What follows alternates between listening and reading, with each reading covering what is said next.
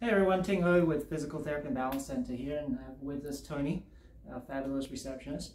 And uh, today I want to talk to you about people that uh, have tingling, numbness, pains, or even weakness in their hands, uh, especially into the fingertips.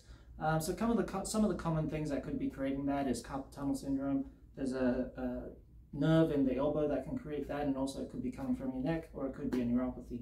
So one of the ways to be able to tell exactly what's going on is to do a test called an EMG slash nerve conduction study. So what I want to do today is just demonstrate a part of the EMG which involves using fine little acupuncture style needles. And what we do is we put them into the muscle just to see how the muscle and the nerve is interacting. It'll give us a better idea of where exactly the pain is coming from. So for Tony, um, we're going to have a look at the muscle in one of the hands here.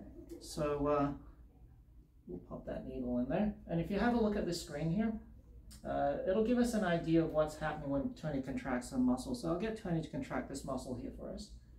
And you can see that wave starting to show up on that little screen there. And that wave gives us the, uh, the indication of how, how, how healthy that muscle is. And by determining if the, if the nerve to that muscle has been impacted previously or injured.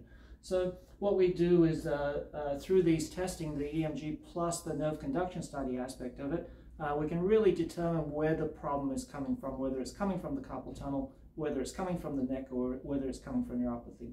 So for the people out there that want to know more about what's causing the pain, numbness, tingling, or even weakness in their hands and, and fingers, give us a call here at Physical Therapy and Balance Center. Uh, we can help you figure out exactly what is causing your problem because obviously that'll help a lot in terms of finding the right treatment